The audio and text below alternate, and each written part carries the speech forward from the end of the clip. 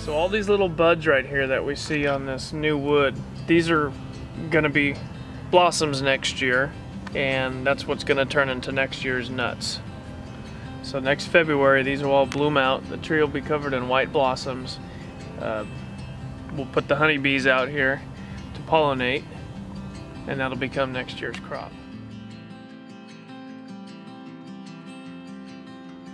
California is about 80% of the world's supply in almonds, so uh, they're uh, sought after globally. Uh, our destinations, as well as domestic use, is Europe, the Middle East, Japan, China. Uh, just about everywhere they still have a, a great appetite for almonds. What spectral imaging did for us is that we had a lot of basic good cleaning equipment such as uh, gravity separators, uh, aspirators, screen decks, uh, as well as laser and even uh, color sort equipment. But there was always the final touch was human. We would always hand sort the almonds and we were having a hard time of kind of replacing the human touch with something that was a little bit more precise and that's where the spectral imaging come into play with uh, robots. And so what they do is they're giving us that human touch.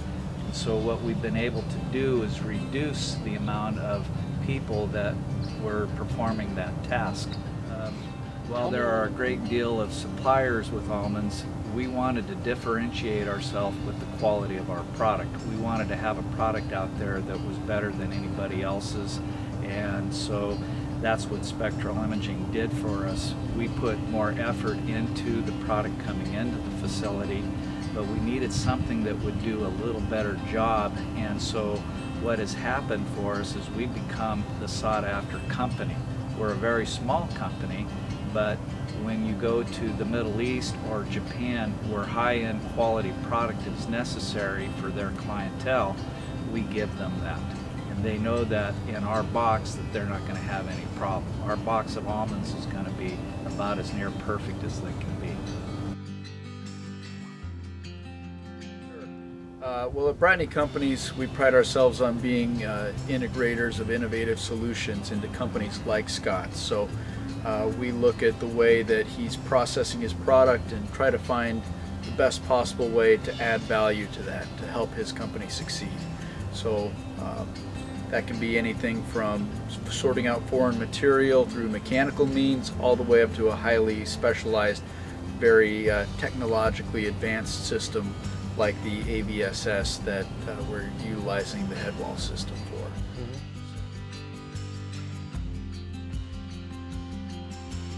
Because ultimately you're trying to replicate what the human eye can see and, and that's a pretty tall order.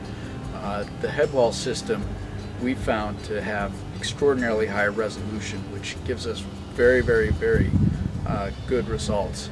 And, uh, and the team at Headwall has been excellent in working with us at identifying new uh, methods to pick out foreign material or to sort to different specifications that Scott as the end user may have.